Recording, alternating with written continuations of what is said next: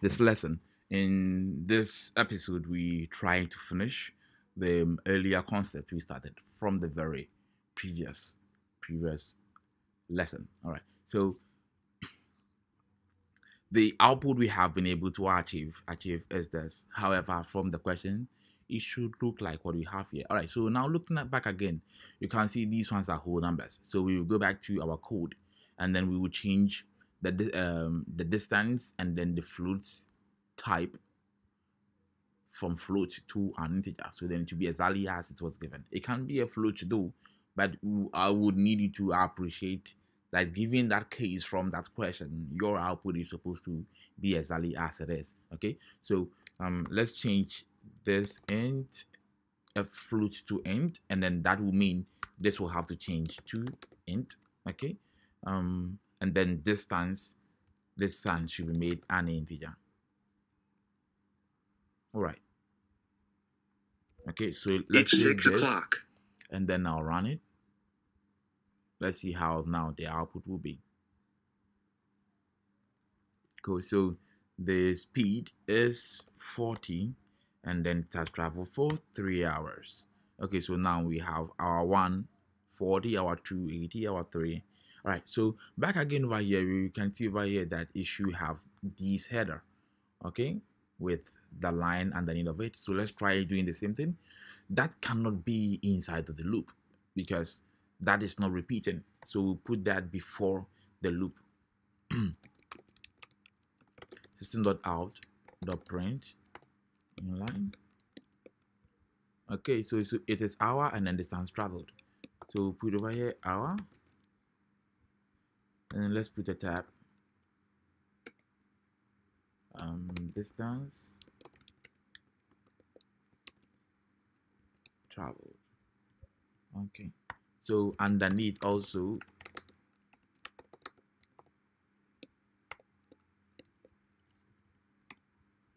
we have these dashes like uh, an underline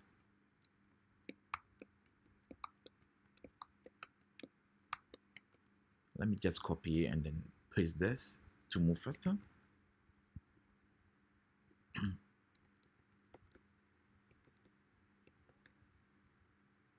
All right so um, let's try this out and then see what the output will be.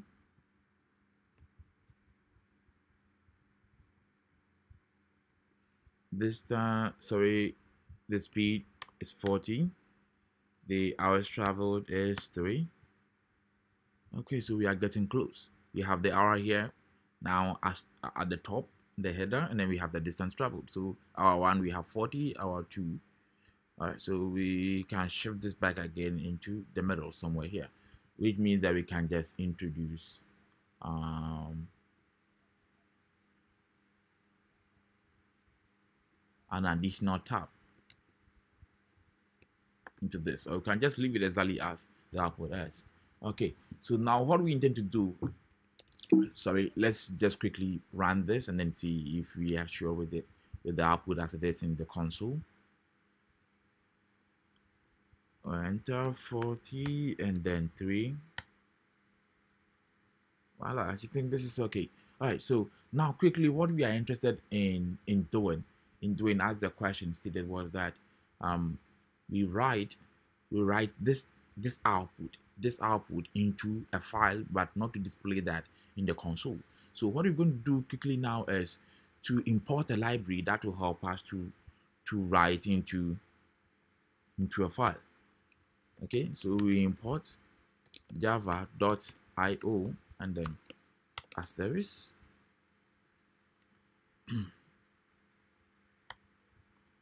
So we're going to use the print writer. I hope you remember this print writer. We create an object for the print writer class. Use the new operator to create memory location for the object. Print writer.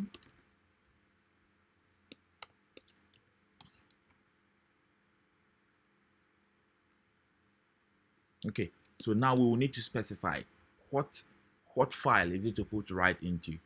Okay so I want to call the file distance dot txt is to write into the file distance dot txt okay um, we will need to throw throw an exception, file not found exception. So then when the code runs, and then just in case it's unable to identify or locate, let me put it right, it's able, unable to locate the file, it will throw that exception. Right. So we select this, we choose file not found exception. All right.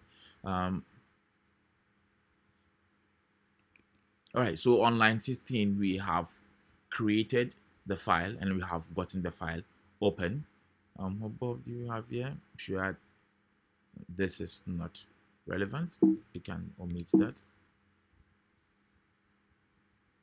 So instead of displaying displaying um, displaying these values, these the uh, the output in at the console, we want to instead display it inside of what? Inside of uh, the file. So instead of system.out.print, the print line, we want to use the object of the class, which is what, sorry, the object of the um, the print writer class. We call that what output file. Okay, output file, and then in that same that we want to use that same object. Let me be sure let me be sure that is the name we give to okay so I'll copy the object of the print writer class and then let me put that here okay so the object followed by the function given will help us to print or write into our file so I will place that with the system dot out because I'm not using that anymore and uh, over here we will do likewise. Okay so now um, like we explained in the previous lesson when the file is opened the file we can now write into or read from the file. And the last thing we do is what? Close the file. So we have to use the object and then we use the close function to have closed it. Right so let's save this and then let's run the code we're expecting that it should write the output into into the the file we have created. So 40 enter the speed travel that is 40 the number of hours traveled is 3 all right so build com success. Let's go to files from here and then we're going to look for the file distance. Voila it has written into into the test file I hope you enjoyed it and you understood this concept. So quickly, I would I would have to explain explain this concept. Uh, um, this side, I know in the previous video I have already explained that, but you can. I'm going to quickly go over this side on writing into it. So the print writer, the print writer file has helped us to write into. It is a function that will help us to write into the test file you will need to create an object for it. The object you create for it will give you access to functions that will actually now help you to write into the file. So you can see from um, line number 24 that that the object output file give us access to the function, the print or the print line, which help us to now write into into the file.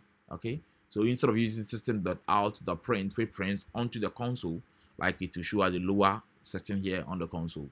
Now we wanted to write the output into the file. So we introduce what? The print writer. But you can see over here that um, if you go back again to this, okay, um, we're expecting that when we run when we run the code again, and then we input values, we would have different values in there.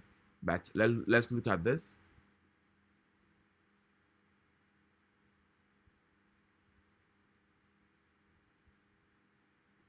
Go back again to the code. Um, let me run this code again.